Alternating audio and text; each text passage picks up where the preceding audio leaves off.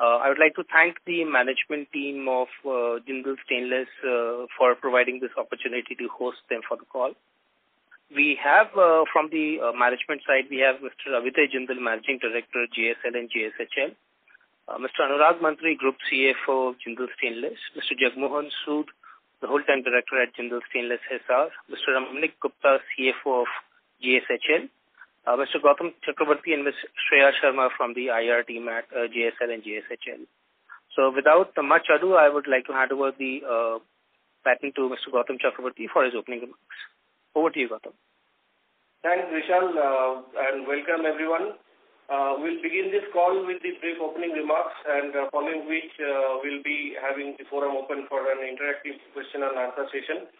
Uh, before we start, I would like to state that some of some of the statements made in today's call uh, may be forward-looking in nature, and a disclaimer in this regard is available in our results presentation that was shared with you earlier.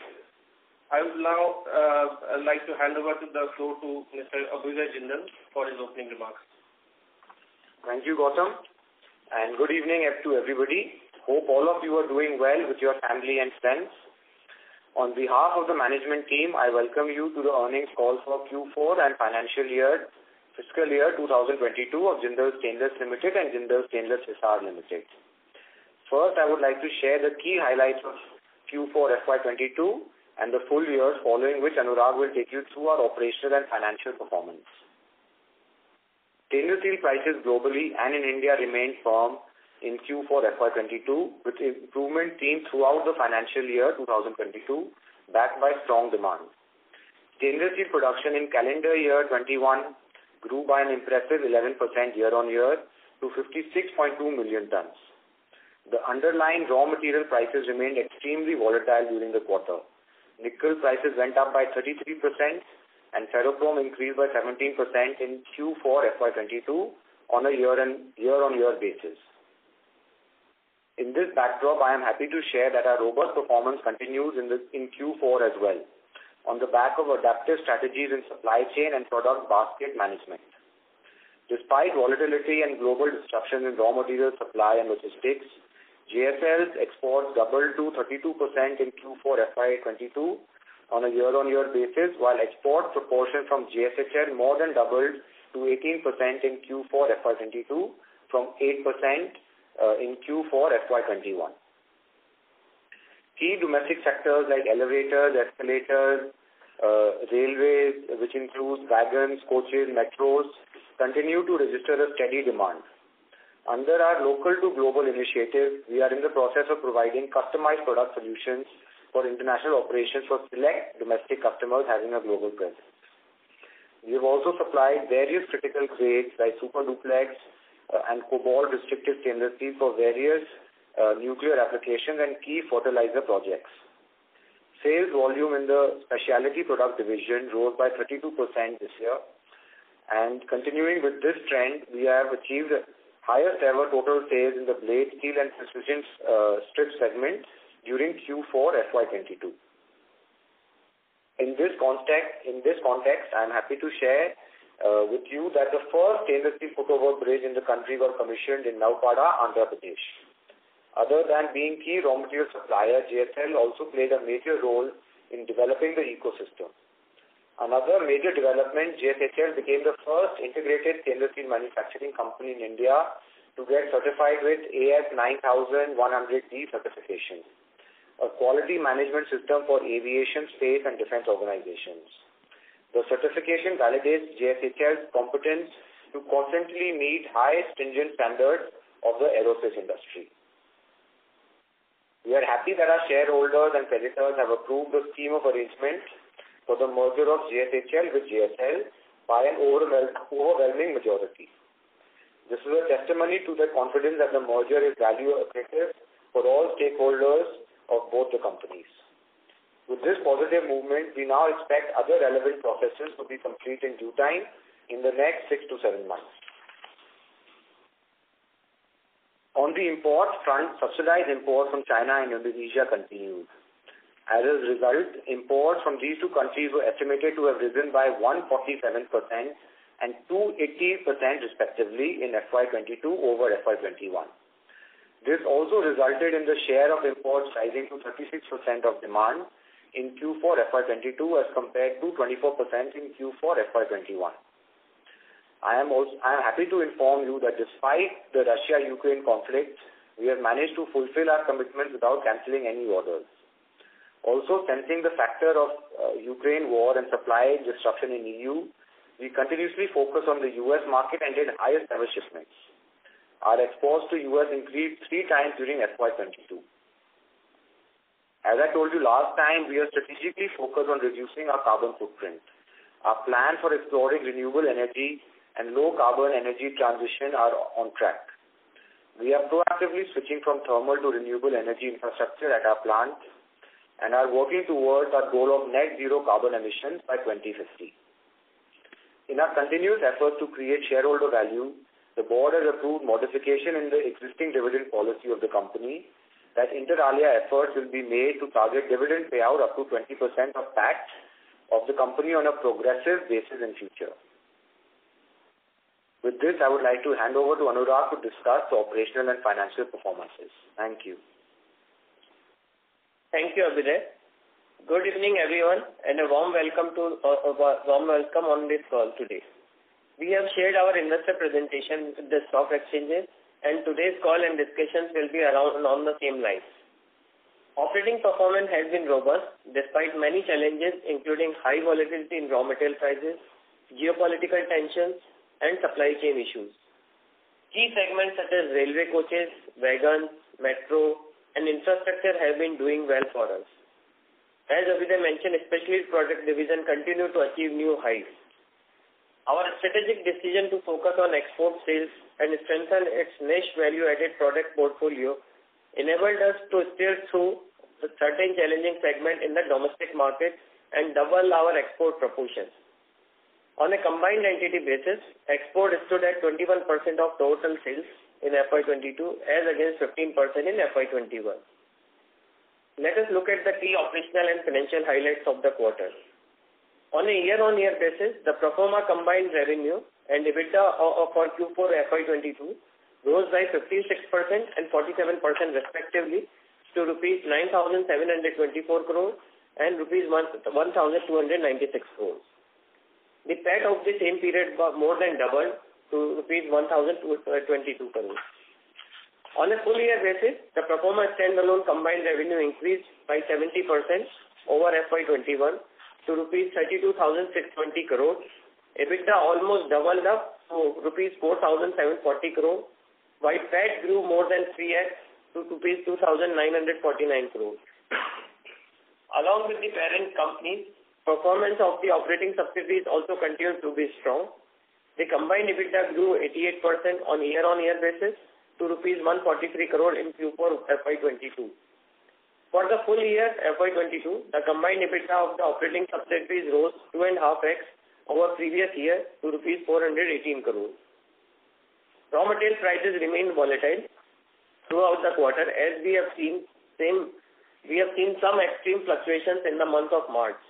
The average prices of LME nickel in Q4 FY22 rose by 33% over Q3 FY22. While domestic ferrochrome average prices in Q4 FY22 fell by 6% over Q3 FY22. Our focused risk management practices helped us to mitigate the underlying commodity risk to a large extent and continue to have a steady uh, margins. At the end of FY22, our pro combined entity net debt stood at rupees 3,162 crore, which is down by 33% as against March 21 level. Leverage ratio has been consistently improving.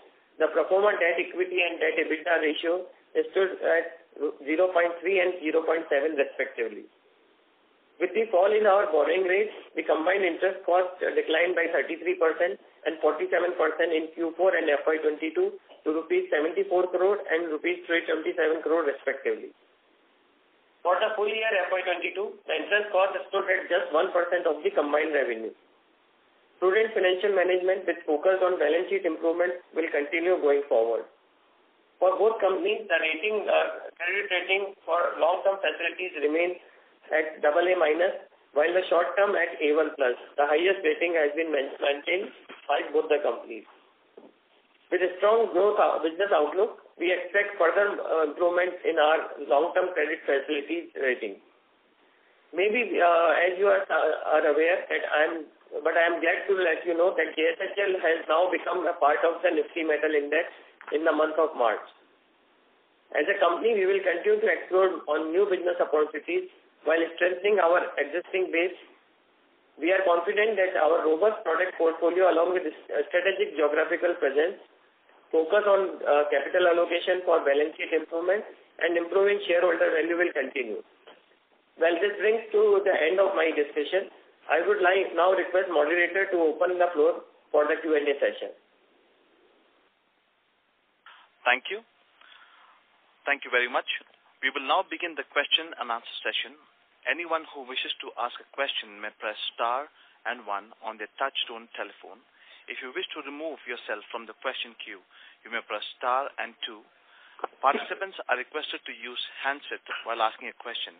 Also, please limit your questions to two per participants. Ladies and gentlemen, we will wait for a moment while the question queue assembles.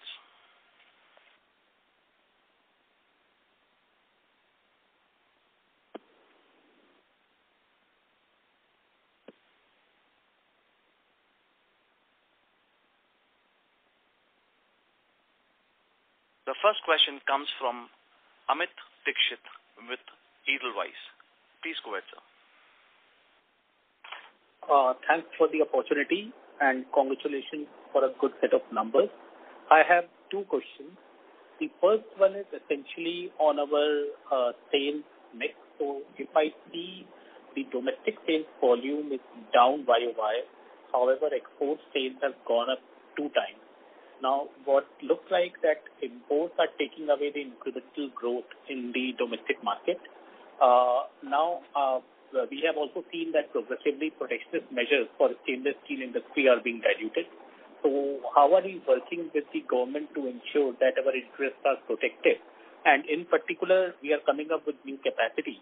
So uh, will the new capacity be directed towards only exports? Because uh domestic market looks quite capped, at least as of now, I mean, considering the uh, influx of imports.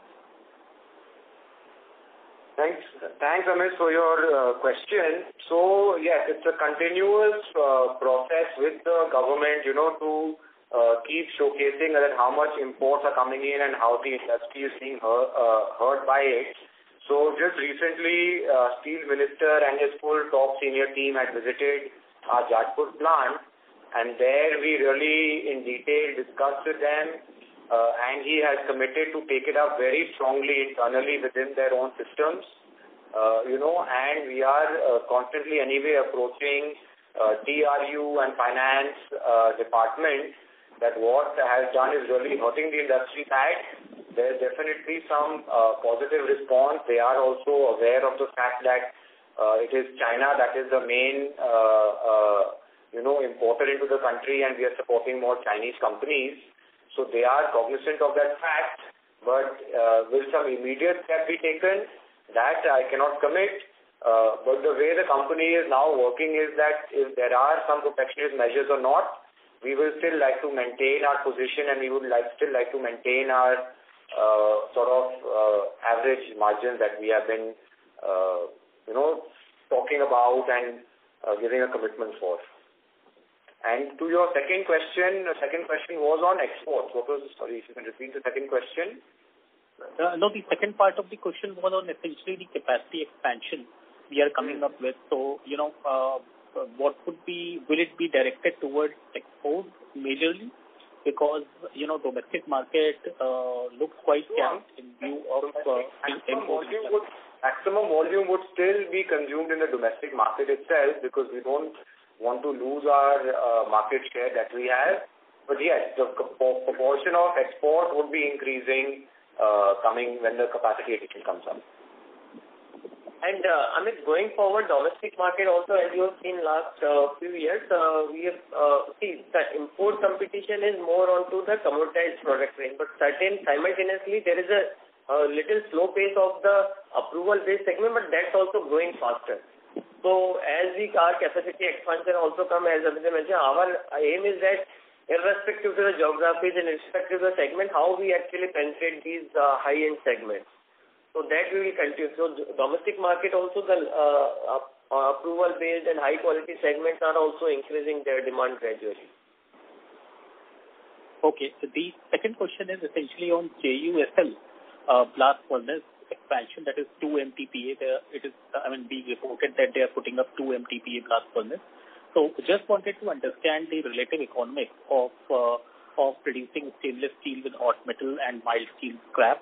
Uh, and uh, can you give us the comfort that JSL or JSHL will not support the capex in any way through ICDs or any, you know, buying any equity stake directly as a company in JUSL? Okay. Uh, so I will take this question. Uh, this is Sujay.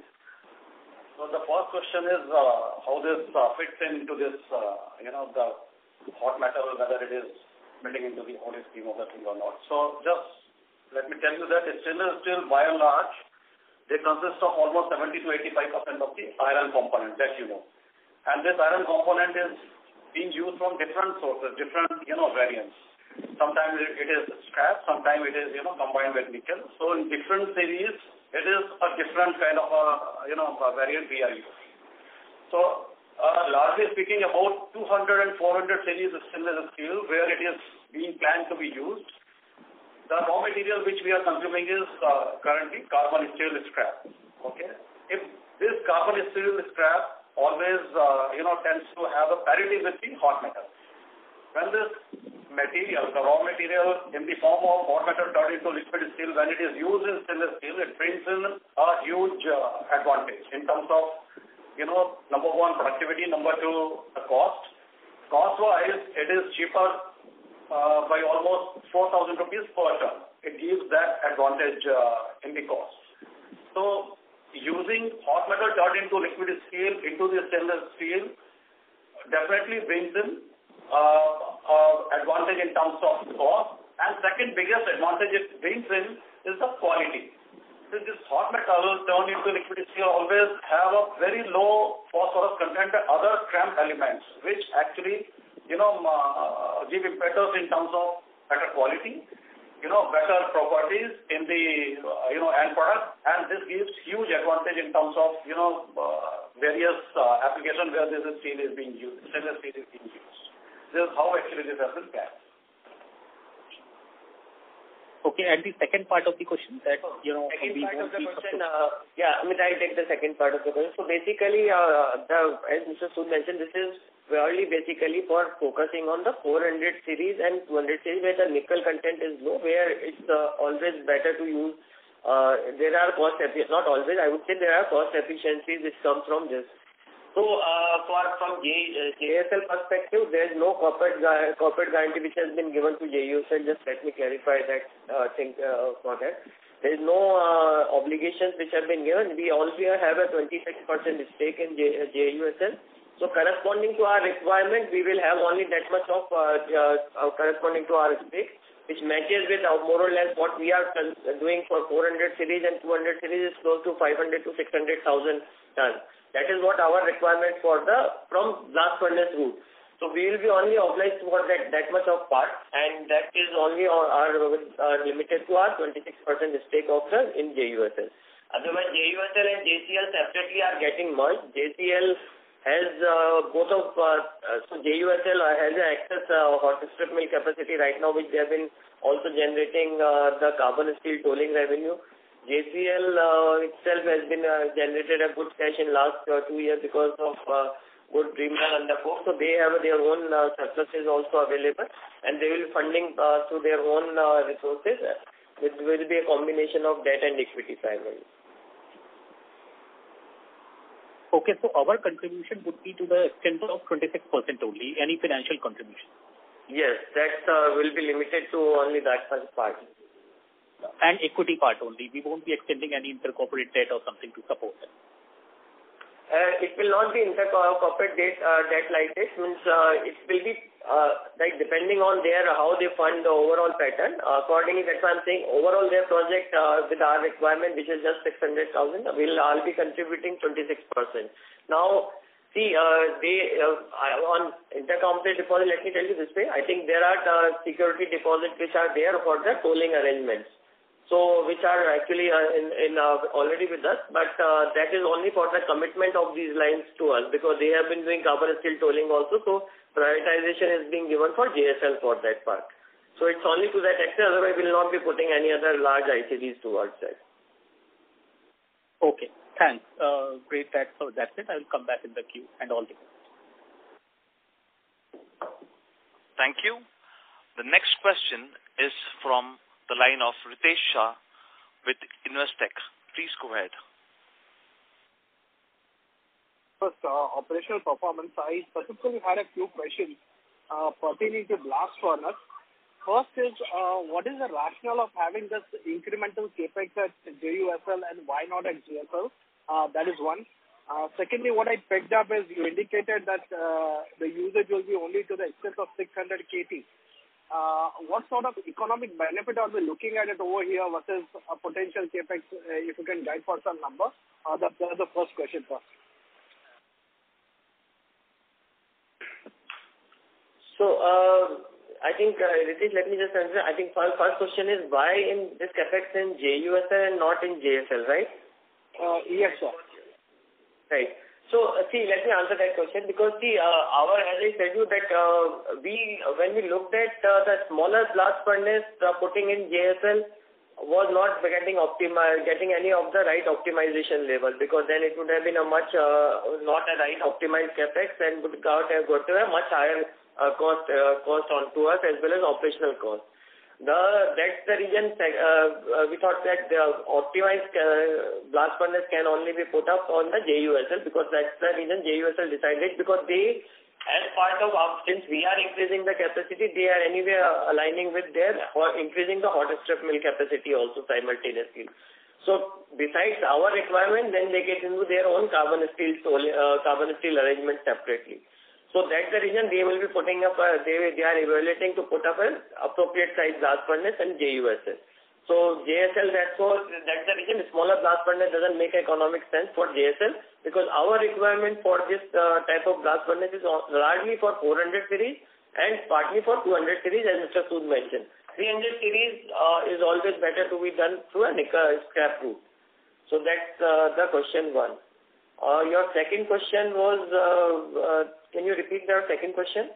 Uh, so just to continue with the first question, uh, uh, why not at uh, given eventually the plan was for also JUSL to be merged into the parent entity. This might happen probably three years, five years out. Then this is something which is core to the operation. Then why not do it at the parent listed entity itself?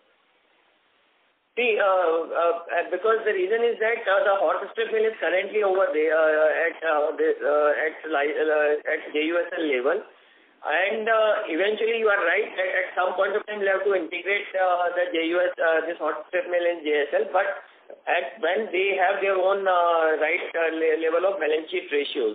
Now, if we do the this glass uh, another blast furnace capex here and which out, out of which we see have a idle capacity of blast furnace. It will not be optimum size blast furnace for us. So we'll have to have an idle capacity of the blast furnace. We'll have to find another utilization of that. Integratedly without hot strip mill, we cannot have a carbon steel then in that case. So it will be more, uh, it will not be any economic sense for the doing the large blast furnace in JSL at all. That's the reason JUSL is uh, doing that capex because they have integrated uh, they have their own coke oven because JCL is getting much. They have a, a hot strip mill. Uh, that's the reason we can have a completely integrated play for the carbon steel or the 400 series sort of metal. And we only use it on a tolling arrangement basis on need basis without any uh, large capex commitment towards it. Because right now there's no, uh, we, we don't want to commit a large capex in JSL. Right. Uh, sir, if I had to ask you, what is the current capital employed for JUSL and what will be the approximate capex that we are looking at over here? Uh, I'm just trying to understand, basically, I'm just trying to understand if we had to merge both the entities, if we were looking at like three years, three years, four years out, are we just not prolonging the time frame for the merger for the two entities? And again, from a conversion cost or from a related party transaction point of view, don't you think that the market won't probably look at it in a more comfortable way? So uh, I think let me uh, just tell you from the related party perspective, these all these tolling arrangements were actually were defined by the lenders when we did a, did a split. And it's completely on those lines, and it's fully in the public domain. There is no, and all every time we took a transparently, those approvals is consistent. So we are not changing that. I think that's uh, been consistent. We have, in fact, uh, to an extent, uh, even when we are will be now needing more tolling, so they are increase, they are incurring the capex to increase their hot strip mill capacity. So it will be related party transactions are completely on arm's length and purely on it. In fact, they are doing outside carbon steel tolling. So they have benchmarks against that. So and we should always take a cognizance of that. So from that perspective, we are surely at uh, some advantage from JUSL. So uh, because though they are benchmarks, but they are doing not only for us, they are doing for other carbon steel players separately, uh, separate tolling. So that's the reason is, I hope this answers your question. Right. So just last to conclude on the numbers, I think what I picked up is around 5,000 rupees and 600 KT of volumes, which essentially means the cost savings that we are looking at is around 300 crores. Uh, corresponding to this, what is the sort of capex that we are looking at? Is it upwards of 2,500, 3,000 crores? So how should one look at uh, the payback over here, and what would it mean on the ESG? Specifically, we are going for pig iron. Uh, I think won't it increase the Scope 1 and 2 emissions? Because we tend to look at the entity together.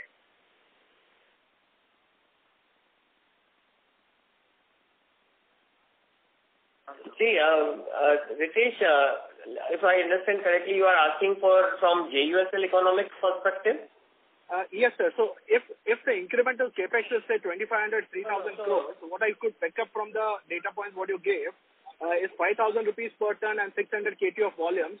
That broadly sums up to nearly 300 crores. So what is the sort of CapEx that we are looking to chase this cost saving of 300 crore? That's the first question, sir. Okay. Ritesh, let me answer this. The advantage what we are getting in stainless steel is not what you are trying to tell. It is 4,000 rupees on an average, you know, per ton of hot metal turning to liquid steel we are using into the stainless steel.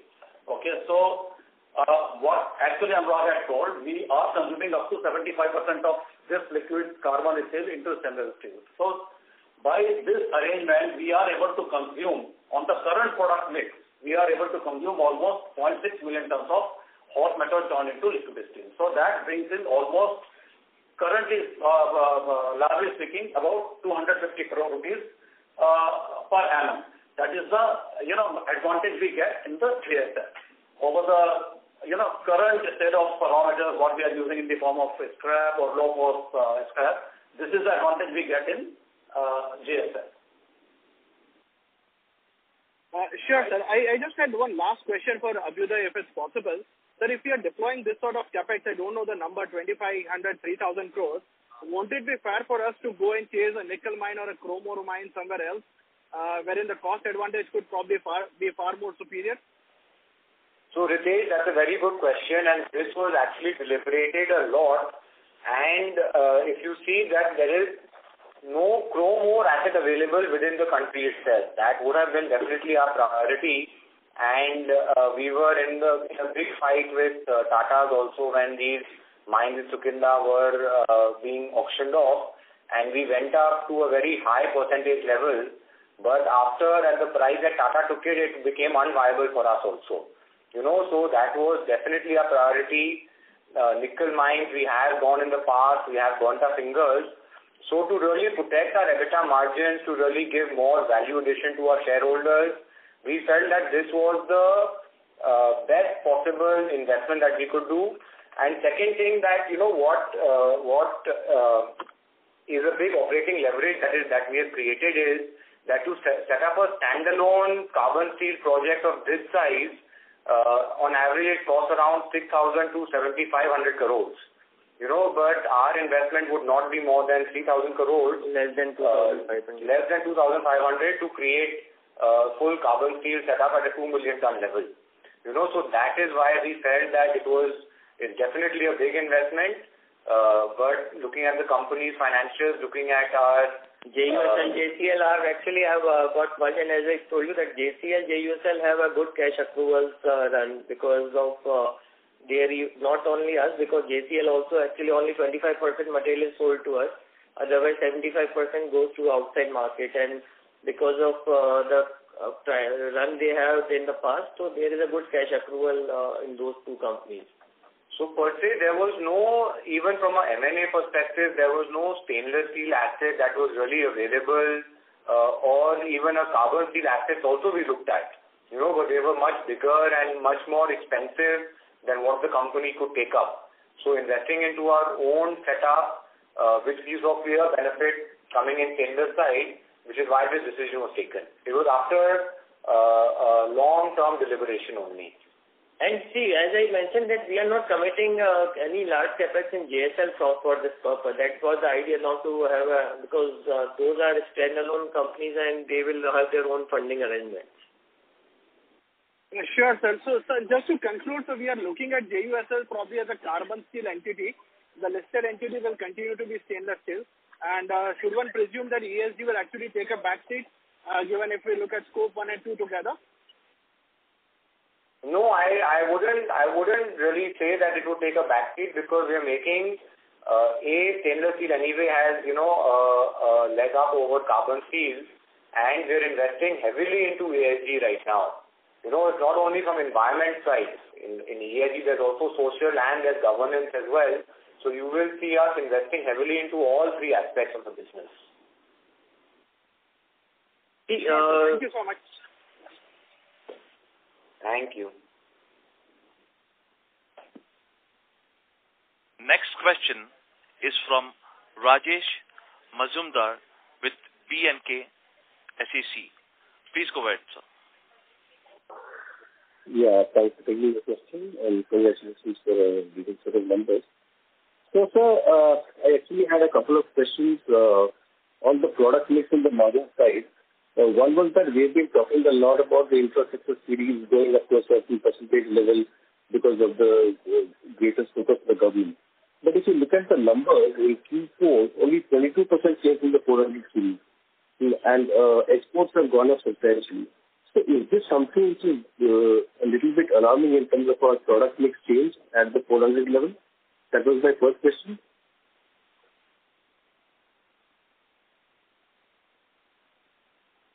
Is, uh, Rajesh, your question is that series by 400 series is not move much, uh, is this your question? Yeah, that's right. That's right. Yeah. Broadly, that's the question, yeah. See, overall, uh, our focus continues to remain uh, the 400 series uh, to the 400 series mix, and which is gradually increasing with auto, railways, and all these are actually consuming that. Uh, In the intermittently, as we explained earlier, that idea is to get the best margin uh, orders first and get it booked. So some of the exports market where we do the some of the high-end to U.S. and Europe, that was also a large 300 series order. Some of the orders were catered. So, strategic direction is very clear that it's to uh, continue to grow 400 series, which is also matching with the the way countries demand in particularly our addressable market segments are growing. Uh, but in the intermittently, obviously, we don't want to lose the sight on because we have a flexibility to build uh, any kind of product range for any segment. That's actually giving us the advantage to capture the best margin order at that particular point of time. So idea is not to just in a uh, focus on a strategic direction, not to uh, dilute on the margins and leave away some of the best margins order at that particular point of time. And, you know, because of this nickel volatility that we are seeing, it's a natural extension that demand from consumer side in 400 series is also going to pick up. You know, so that way, uh, from uh, Q4 last year to Q4 this year, definitely 400 series has increased by, I think, 5%-6%.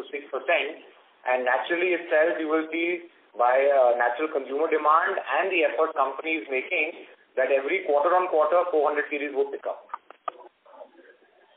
So you don't see any kind of slowdown in terms of government spending? Because we've been hearing talk that, uh, you know, fertilizer subsidies are going up and uh, inflation trends, uh, crude oil being up so high, government expenditure can be coming off slightly. are you seeing any kind of trend which might prompt us to believe that over the next couple of quarters also exports will remain high? No, we are not seeing that. And one of the strengths of our organization is that we are very flexible and we're not dependent on any one particular segment to a very large extent. So, like we mentioned, if domestic market being open to imports, we've increased our exports. Similarly, if government projects, some of them, which at least in our case have not really been canceled or delayed, uh, you know, we can easily switch over to any other segment. So that is one of the USPs of our organization. Right. Sir, I didn't hear anything from you in terms of guidance for EBITDA per ton. Is there any change or what are we likely to see in the next coming quarters? Uh, EBITDA per ton, Rajesh, uh, long term, we have always been consistent in our guidance that at this stage, uh, till the time new expansion is completely unfold, say 18,000-20,000 is our average guidance. Right now, for the uh, near term in quarter one, I think uh, it will be close to more at 24,000 runs, 22,000-24,000, uh, what we expect. Though there are much of volatility in terms of power cost and all these thing, but with all these volatility, we are expecting to have that type of run in quarter one in near term. And the benefit from our Chromo mines will be coming in this year. Can we expect that to come in because we've been talking about it? Okay. Okay. I think uh, the Chrome ore operations will start within a year time. That is common boundary mining uh, with Tata and uh, BEL on docking. Right. So from next year onwards? Yeah, almost next year, yes. By end of this year. That will be in sync with our expansion more or less? Yes. Okay. Thanks, sir. I'll come back in the queue then. Thank you. Thank you. Our next question is from Abhijit Mitra with ICICI Securities. Please go ahead, sir. Yeah, thanks for taking my question, and congrats on a great set of numbers. So I have uh, I have a few questions on on the JUSL CapEx. Just to sort of clarify the investment of 2,500 crores, it would be over how many years? Over two-year period. Two years. so FY23 and FY24, Okay. And, and you know, assuming, say, a debt equity of 40:60 or 50:50, JSL will sort of fund 25 or 26% of that. Is that the understanding? So anywhere between 250 crores-350 crores? There's no uh, specific which has been covered because this project uh, is also still under the finalization at JUSL level, that how they will be unfolding this, uh, because then there they have their own earning streams uh, also. So, uh, it's not that it's, we'll, we, what I'm saying is that broadly that we will not get to any of the other beyond, any other funding support beyond these levels. That's what our broad outer, outer target is. Uh, otherwise, it's not that we'll have to even fund from that perspective. It's not that. It's only that we'll have to ensure that our hotel, uh, what we need the tolling arrangement for uh, from their hot strip at least that will remain protected when we increase our capacity. Because uh, they, we have a, we are doubling our capacity, so we need those much of guarantees from the JUSL. At least those are actually remain protected because uh, they have their own outside tolling business also. Okay. So, uh, so uh, you know, just two more questions on the tolling arrangement. On the future tolling arrangement, once the blast furnace comes up, What, how will the tolling arrangement look like? So one is, of course, through the HSM that we are taking. We would also be buying the hot metal from them, right? And and for that, we will we supply iron ore and chrome ore and then buy the hot metal, or it will be just buying hot metal like you know, purchasing pig iron from the market? How, how will that be? See, this is not, uh, this is still, I'll I'll let you blast furnace, even when they start, it will at least be two, two and a half years away, two years away at least.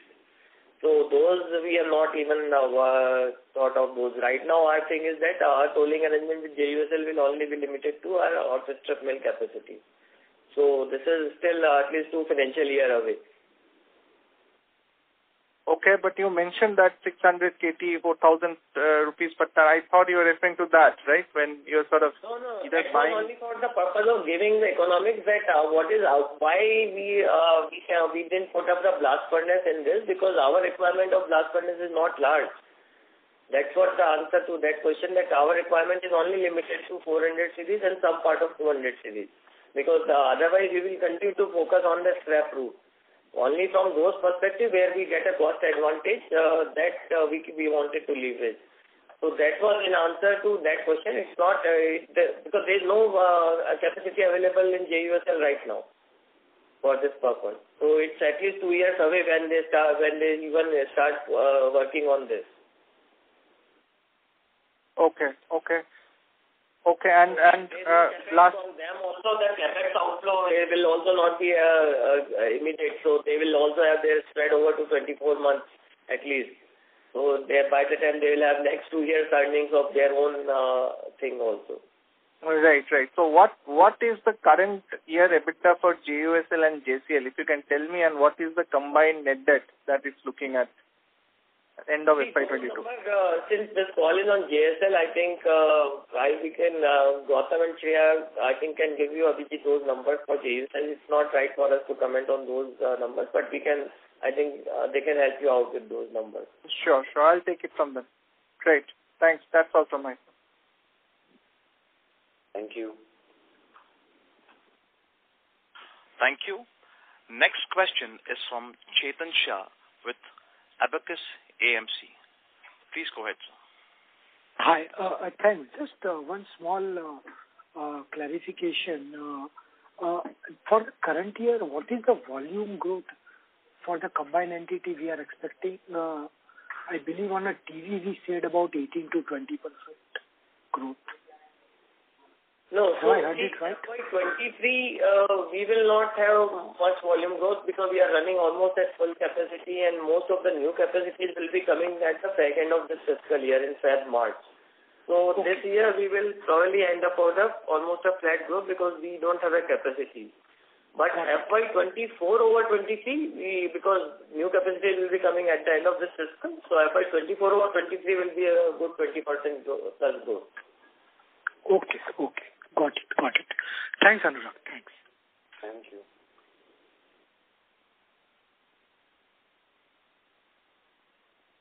Thank you. Next question is from Vishal Chandak. Please go ahead, sir. Yeah, uh, thanks for taking my question, sir. Uh, just continuing with uh, the JUSL and proposed JSL transaction. Um, so when we are speaking about 4,000 rupees per ton savings, could you please help us understand in which part of the process are we expecting this uh, saving? At the melt shop, melt shop level. Yeah. So, so the idea is that uh, getting the hot metal, uh, molten metal will lead to savings. Is this the energy cost that we are talking about? Uh, remelting uh, pig iron, is that what we are talking about? Is the saving? Yeah, Vishal, yeah, Vishal, this hot metal will not be used directly. It will be first turned into liquid steel and then this liquid steel will be actually used in the stainless steel manufacturing, in the melt, melting uh, furnace. So definitely what, what we are saying 4,000 rupees, it will be total direct and indirect savings. Uh, means our, uh, we would be receiving the liquid steel uh, from JUSL or uh, we would be receiving liquid steel, right? We would be receiving liquid steel from JUSL. Okay, after after they turn it into the uh, melt shop, we will will be getting the liquid steel. Correct. So so, uh, instead of buying, let me put it this way, sir, instead of buying uh, uh, a slab, uh, we are uh, purchasing liquid steel so that we can process it through the AOD and make stainless steel. Okay, so let me explain in slightly detail. This liquid steel, what we are going to get is basically plain carbon liquid steel. It will not have any chromium, any manganese, any other alloying element. So it will be plain carbon steel. This plain carbon steel will be fed into the AOD process, AOD furnace, and there it will be turned into, converted into stainless steel with the refining. We will make additions of chromium, manganese, and whatever alloying elements are required, and then it will be basically turned into stainless steel. It is not that uh, directly we can uh, actually make it in stainless steel. It is carbon steel, you know, fed into the stainless steel AOD converter, and then it is actually made into stainless steel. Got it.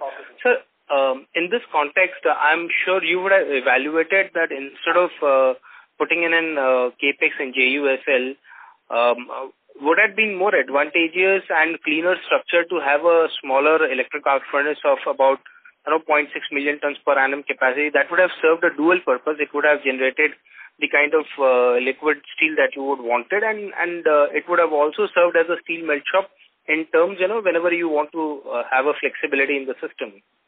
And then obviously you will have no uh, issues with respect to uh, JUSL transaction related party issues, etc. Okay, let me handle the first question uh, you asked. The savings which are getting accrued, they are largely from the raw materials. Energy savings are a small part of it. Okay, so when you say that you can uh, have it by putting up a you know a small electric arc furnace, that was well thought of, but because raw material saving was not happening from that, so it was dropped. Second, you know, option was to put up a small blast furnace because we were trying to get a benefit of uh, raw metals because we are this Small blast furnace, we understand it's out of question, sir. Okay, it is out of the see. What you need to understand is why it cannot be, you know, from electric arc furnace because electric arc furnace is not giving you advantage in terms of raw material cost advantage what we are getting from the hot metal. So the large advantage we are having in this scheme of things is uh, hot metal is giving us a huge advantage in terms of cost. That is the thing.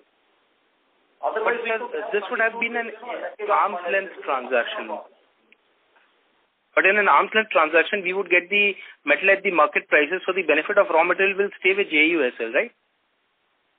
No, see, uh, at, uh, uh, so let me first uh, tell you, I think it's at least uh, two years away and we have not uh, worked out, but obviously there would be a benefit which will be accruing to JUSL as I am saying, even in the current tolling arrangement, and uh, this is all being uh, subject to various audits and all because uh, like even in the tolling they have been carbon steel tolling and uh, stainless steel tolling and we have seen the kind of rate which we are getting as as compared to even when the market uh, was at carbon steel market was also up because they were their facilities are also getting completely engaged on those parts. So we will surely get some of the benefit, but I think it's too early to do because it's at least two fiscal years away. We have been talking about at least uh, FY25 or 26, uh, this type of uh, thing. So we have a time to get into this once they conceptualize their full project and how they evolve it. Sure. That's pretty helpful, sir. Thank you very much.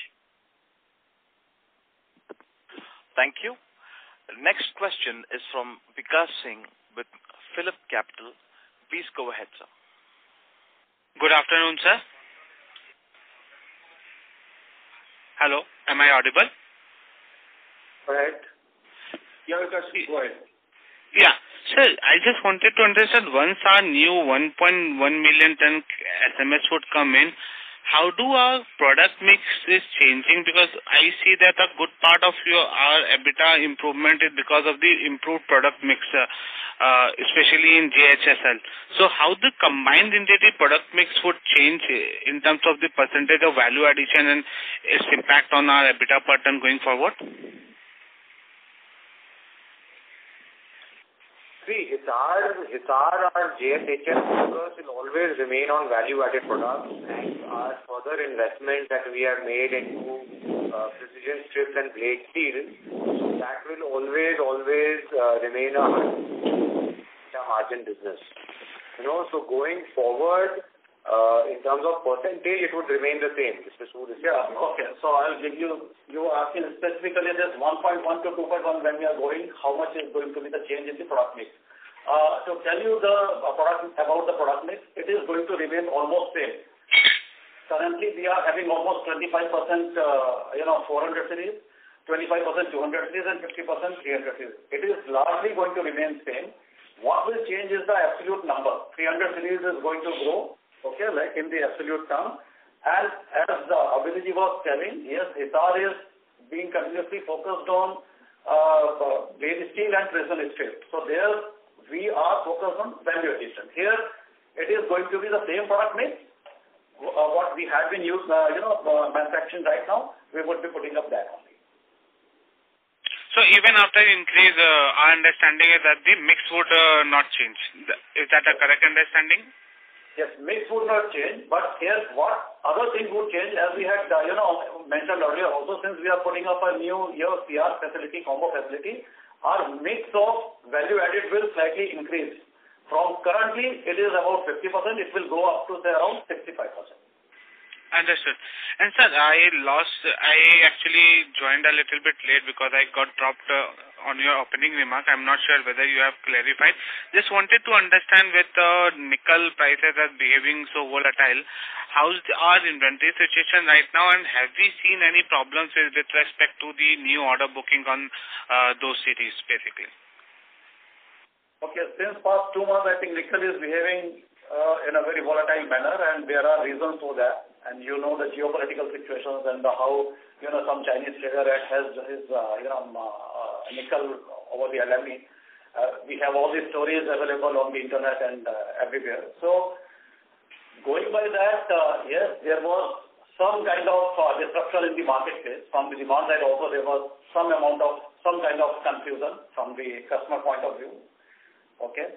But now, since nickel has actually uh, gone into the territory of about uh, 30,000 to 36,000 you know dollars per ton. It is moving in that fashion. So the you know it is this you know uh, nickel is completely de-alienating. Nickel which is being used in stainless steel manufacturing it is getting dealing from the LME. Now this stainless steel business we are using uh, nickel in the form of scrap, nickel pig iron or uh, uh, ferronickel. So probably somewhere, if nickel remains in this highly volatile, uh, you know, behaves still in the highly volatile manner, probably uh, uh, it will be totally delinkage in the future. But what we see in the in the near terms, since there is some confusion and uh, probably you know uh, there is uh, uh, basically from the demand side, uh, how to put it? Uh, I just you you want to pitch in? Because I'm slightly confused. There is there is a small confusion in the demand side, and uh, probably somewhere from the customer angle, probably that demand is not getting picked up. So so the point you are trying to make is that uh, how we are actually you know trying to hedge coping up with this situation. Pardon me.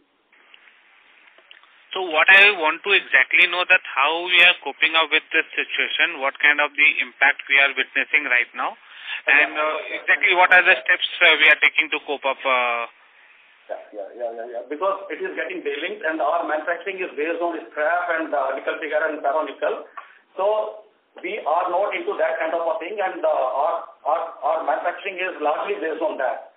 So from the cost point of view, we are well under control and uh, uh, by using these type of uh, you know raw materials and these type of nickel variants.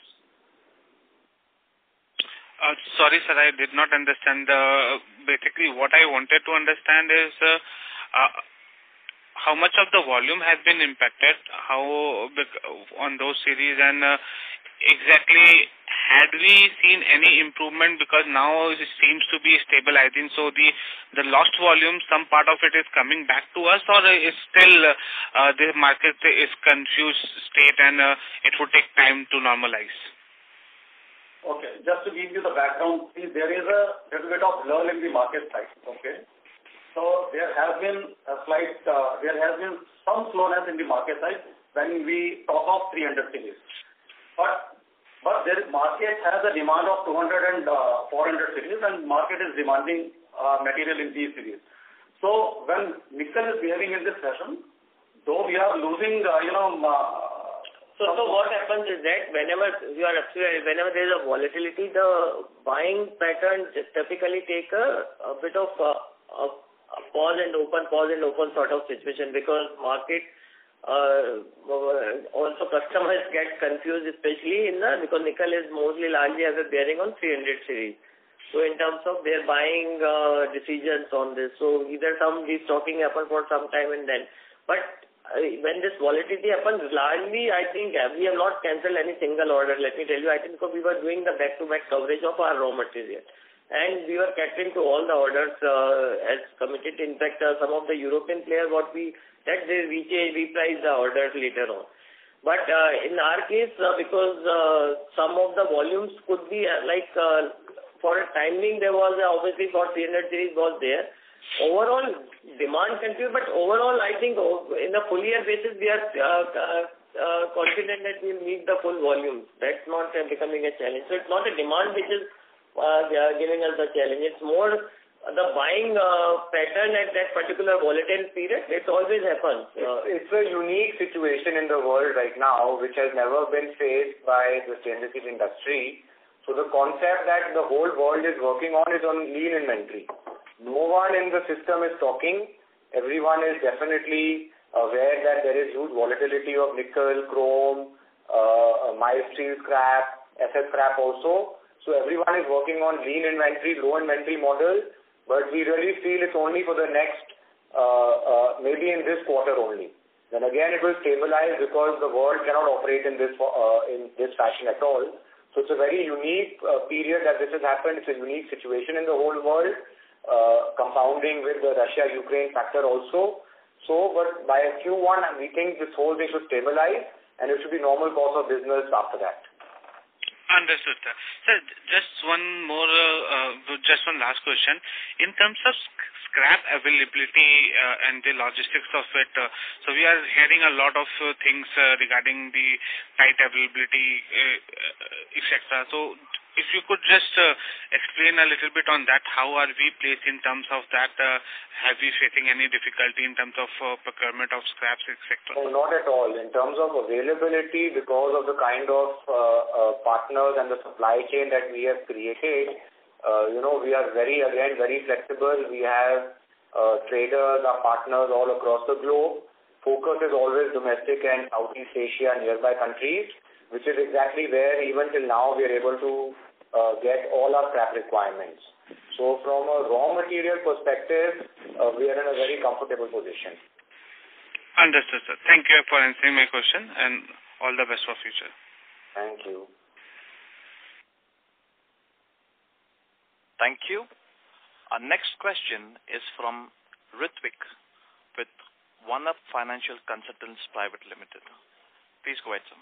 Yeah. Uh, hi, uh, good evening, and uh, congrats on a great FY22. So I have a few questions. Firstly, you mentioned that US we have tripled the volumes in FY22. So is it possible to quantify on an absolute basis, and where do you think uh, this will move over the next uh, three three years?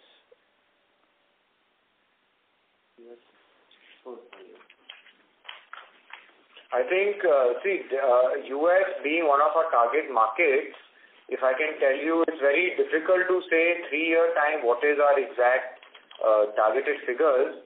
But this year. Because see, the geographically, as we said, that we keep because being agile and flexibility in our product range and geography, we keep changing because of wherever we keep getting the better margin order. So uh, just to give you the perspective overall, uh, in JSL, a large part of the US order which we cater, typically uh, the quarter four, uh, the, our export mix was 32% of our total sales volume. And uh, the uh, on a full year basis, it was 25%. And last year, it was 19%. Now, out of 25% this year, the 15% came from US. Okay. So that was the statistic. Of the JSL uh, volume? Yes. So almost 15% of the JSL volumes were actually from US market. Okay. Okay. Sure. So it would be close to 40, 45,000 uh, of volume in JSL. Yeah. Sure. Sure. Okay. No, no. the reason I'm asking is that you know in the last couple of quarters, you have mentioned that uh, we want to scale up in US market. So you know uh, uh, that would be a a good uh, diversification and added geography uh, given the imports are uh, coming in the country.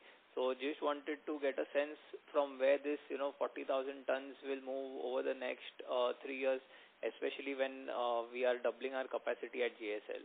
So so would it be fair? See, just to correct, I think uh, it was not on combined volume. It was on actually on JSL volume what I said. I was mentioning the JSL volume, which is close to 1.01 million, and the 15% of was actually US that's coming from US markets. Right. Right. Okay. So 15% of the total JSL volume is from the US market? of the 10% of the export. Export. Ritwik, it is 15% with total export market. Export, right, right. Yeah. Okay. Yeah, sure. Okay. Sure. Okay. And uh, so, uh, uh, with this expansion on track uh, by FY23, and we should uh, we we would have commissioned uh, the capacity at JSL. So, uh, when in your sense uh, we can ramp up this to uh, full utilization and you know, given the fact that uh, a million ton, uh, we would have to uh, look for uh, incremental uh, for, for uh, probably new geographies as well, uh, since it's a, uh, a decent uh, enough volume for us to sell. So it would take about almost a year's time to commission to full capacity. Okay. And uh, we see enough demand. There is good growth. Stainless steel is the fastest growing metal, almost growing at about 9% domestically itself. Hmm. Uh, and we see the usages only increasing. Like in infrastructure, which was totally dominated by concrete and uh, steel, now you're going to see stainless steel having a very, very major role to play. Uh, like I mentioned already, uh, we built our first asset uh, foot over bridge uh, and tune like that, 20 bridges itself this year are planned, plus another 300 more in the pipeline. You know, so in terms of uh, our 1 million ton capacity, domestic, we see good growth coming in in high-end segments, in your process industries. And similarly, like we mentioned, US is going to be a target market for us. So there we further want to increase uh, year-on-year basis. And and just one uh, last clarification. You know, there are a lot of questions on JUSL expansion. Uh, so this 2 million ton expansion is a incremental expansion or right now I believe it's 1 million ton which will go to 2 million tons over next 2 to 3 years? Uh, it's uh, it's uh, separate, 2 million tons additional. Additional, okay. And and so they would have some kind of cash flows as well, right? Uh, since uh, they have a million ton uh, capacity right now, uh, so they would have their cash flows and this 2500 capex over next two to three years. So that so uh, would it be fair to assume that the uh, cash flows 40 50 percent of the capex requirement would be funded from internal accruals? Large part of yes, because see, they have a 1.6 million ton uh, capacity of hot strip mill right now, which they are increasing to 3.2 separately. Okay. So they will have their own uh, tolling uh, avenue plus uh, JCL Jindal Coke, which is also sells sell the cocoa one uh, also. So that also uh, uh, is uh, actually getting merged. So they are they combined. They will have a healthy cash flow, and they don't have a much of the debt liabilities at this stage for next three four years. Okay. Okay. Okay, sure. Maybe I, I I'll take this offline. Hmm. Yeah. Thank you. Okay, sir. Thank you and all the best. Thank you. Our next question is from Ashish Kejriwal with Centrum Broking. Please go ahead, sir. Great, great opportunity. Three questions for me. Uh, one is uh, we have seen in FY22 that you know, a lot a part of our earnings got captured in working capital, and because of that fact, we are unable to reduce our debt. So, uh, first is where we are in the working capital cycle. Do we think that that is going to ease from the current level, or it will increase, or how it is? Second is, uh, uh, is it possible to give uh, cash flow capex guidance for FY23? Because in FY22, I think we have spent only 750 crore. So how the capex uh, will happen in FY23 when we are going to finish all the projects? And third, you mentioned about the dividend policy, but uh, is it possible that we can have some elaborative capital allocation policy? Because, you know, maybe in a years or two years' time framework, we will be debt-free. So, you know, it's very important for us to understand what our thought process is going forward in terms of capital allocation. Thank you. So okay, Ashish, let me answer one. So working capital uh, is purely because of the function of the uh, raw material prices. And uh, if the prices come down, it will immediately ease out. So uh, because uh, the, our increase is purely, purely linked with the uh, higher raw material prices because the volumes are also actually at a peak level. So, uh, so it's uh, not possible to give the commitment number because if the raw material prices remain high, this will remain at the same level. But if it comes down, say, half, our working capital requirement, we have seen that in the past also, immediately it will come down drastically because uh, it's only the deployment which we'll have to do primarily for the inventory purposes. Mm-hmm. Okay, so that's on uh, working capital side uh, because it's, uh, I mean, it's not right for us to predict the raw material prices because we, our focus is always to have a just complete risk management strategy. So we keep uh, balancing between our sales and the uh, sourcing, so not to take up any of the commodity exposure uh, with us. Uh, because no, just on this uh, working capital only, uh, what we are seeing is in FY22, number of days of inventory has reduced drastically. Despite this fact, this is happening. So I don't know how, first of all, this number of days has declined so drastically in FY22, and despite that, we are having such working capital pressure. See, uh, because if you see the underlying raw material prices have increased considerably. Mm-hmm. So, uh, that's uh, because uh, when you look at just on a one point two point number, because the average deployment comes on the previous, uh, when you close that, it's because of the previous uh, almost uh, three months average basis. Okay. So, since uh, raw material prices have increased, purely reflection of prices. That's what I said. See, the moment it comes down, so our days we are keeping a very close check. So we are not increasing, neither we are increasing our exposures in terms of the, any of the underlying commodity. That's what our prime focus is. And uh, debtors days are also completely remain under control. So it's not, the increase is not uh, pursuant to the increase in uh, changes in the days. It's purely because of the prices which we'll have to maintain. Depending on that also depends on the particular series. So if you have a larger 300 series uh, uh, campaigns going on at that particular point of time at the end of the quarter, you will see a much higher inventories at that point of time because that we are seeing when most of the export order were being catered from 300 series. So therefore, you will see a large uh, inventory. But if similar thing happens, say 400 series, then again uh, it will be a different inventory level at uh, in all. Sure. Okay. So and capex side, uh, so out of the total committed capex of 2,600 crore, uh, we spent close to 950 or close to 1,000 crore in uh, FY22. And FY23, this year, we expect close to 1,200 because some of the spillover capex of the last year will come because Mm-hmm. we earlier guided you from for uh, close to 1,100 crore capex. And this year, we expect close to 1,200 crore to 1,300 crore of the capex as we are finishing the project. Uh, maintenance capex will be separate, uh, which uh, we say which will uh, ranges between say 300 to 400 crore range. This is you're talking about the combined entity, yes? Combined entity, combined entity, right. Okay, okay. On uh, dividend or if you say the shareholders return policy, uh, this is uh, mostly because whether in the form of uh, whether in what form we will get to this, uh, this has to be decided at the time by the board at the time when they uh, get to this. Uh, but idea was that too because earlier we were having a uh, very generic dividend policy. The board deliberated this and since we, uh, they, depending on our earnings and all this thing, we then have give, uh, decided that uh, board uh, took a decision that we progressively we should target to reach towards 20% of the shareholders' return. So uh, I was looking at more of capital allocation policy, uh, which uh, dividend policy could be a part of it. But what could be our strategic uh, capital allocation policy? Let's say by you know uh, free cash flows, uh, how you want to distribute it in terms of growth, in terms of deleveraging, in terms of uh, dividend distribution. Is there any policy which is in our mind?